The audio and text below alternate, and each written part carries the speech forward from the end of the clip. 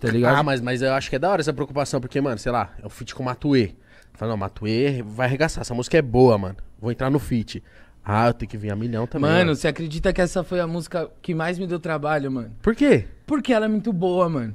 E eu não sabia como. Chegar no mesmo nível. É, mano, como acrescentar. Eu fiz, refiz, e refiz e refiz. E o Matuê também é um cara, mano, extremamente perfeccionista. Então, às vezes eu fazia uns bagulho e pra mim tava muito bom. Aí eu mostrava pra ele, puta, mano.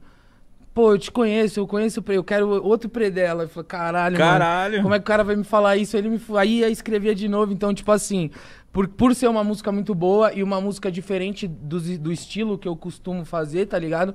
Foi um bagulho que eu, mano, realmente me empenhei, estudei ali. Muita gente gostou, muita gente também não gostou, tá ligado? Caralho, sério, mano? Sim, sim.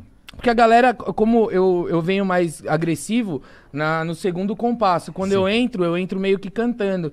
E, mano, pra que que eu fui inventar esse jeito agressivo? Porque qualquer coisa que eu fizer diferente disso, hoje em dia, tem uma... Tem uma a galera pesa um pouco, tá ligado? Mas, mano, tá tranquilo, tá Não, sossegado. Aqui a galera que te acompanha, aqui a galera acha que na entrevista você ia estar assim.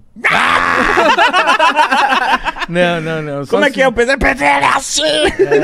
As pessoas, elas, eu acho que elas têm essa imagem, né, mano? Do Predela ser um cara mais bravão ou muito louco. E, mano, não é isso, tá ligado, rapaz? Na real é.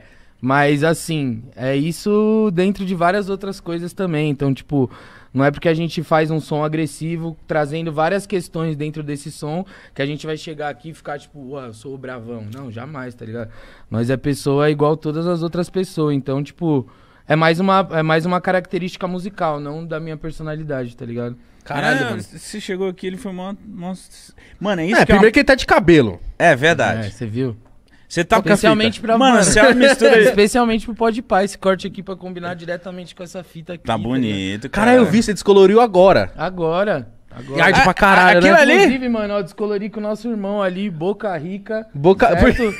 Boca Esse apelido é complicado. É, esse apelido é Descolore o complicado. meu, mano. Eu queria descolorir o meu, velho. Mas você quer Tá descolorir o cabelo aí, mano, com boca acabando. rica? Ô, passa no meu aí enquanto eu faço o programa. Não, enquanto nós faz o programa, Chega aí, moral? faz aí. Não, agora. Vem aqui, faz o meu cabelo. Fica ali atrás gente- dele ali. Faz a carinha. Sério, cara? Faz o meu cabelo aí.